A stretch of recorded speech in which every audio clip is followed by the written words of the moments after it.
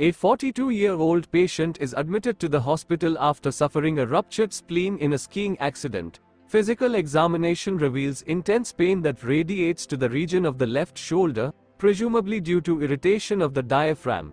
Which of the following signs best describes this condition? A. Kehr sign, B. Obturator sign, C. Psoas sign, D. Rovsing sign, and the answer is A. Kehr sign.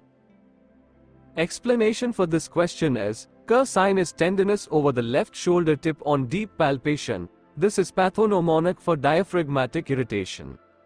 The key information is, ruptured spleen, pain radiating to the left shoulder. This indicates irritation of the diaphragm due to the ruptured spleen compressing against it.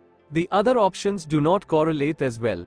B. Obturator sign relates to hip joint pathology. C. Psoas sign relates to lumbar spine, psoas issues. D. Rovsing sign relates to sciatic nerve irritation.